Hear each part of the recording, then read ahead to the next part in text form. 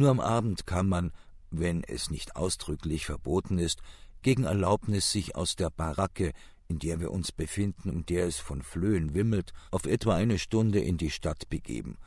Das Essen in der Memange hier ist viel besser als in Hanau. Morgens gibt es den unvermeidlichen Mehlbrei. Mittags bekommt man wohlschmeckende, recht kräftige Suppe, ein schönes Stück Fleisch und drei Bohnen, von welch letzterem ich noch nicht gegessen habe.